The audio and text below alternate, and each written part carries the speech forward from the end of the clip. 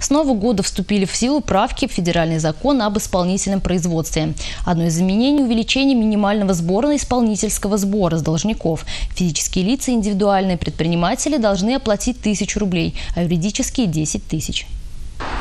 Например, если автолюбитель в 60-дневный срок не оплатил свой штраф, то судебные приставы исполнитель возбуждают исполнительное производство. Сотрудники ФИМИДа, руководствуясь федеральным законом, дают гражданину на добровольное погашение задолженности 5 дней. По их истечении выносится постановление о взыскании исполнительского сбора. Получается, что за непогашенный вовремя штраф в размере, например, 500 рублей гражданин вынужден будет заплатить еще 1000 рублей исполнительский сбор.